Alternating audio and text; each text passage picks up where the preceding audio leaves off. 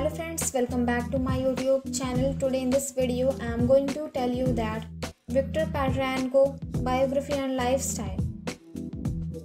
Full name Viktor Petrenko.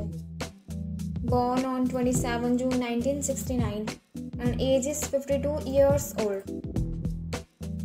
Viktor Petrenko is a Ukrainian former competitive figure skater who represents the Soviet Union, the unified team, and Ukraine during his career. He is a 1992 Olympic champion for the unified team. Petrenko became the first flag bearer for Ukraine. Petrenko lives in the United States and works as an ISU technical specialist tours professionally and coaches figure skating. Viktor was born in Odessa, Ukrainian SSR, the first of two sons born to engineers Tamara and Vasil Petrenko.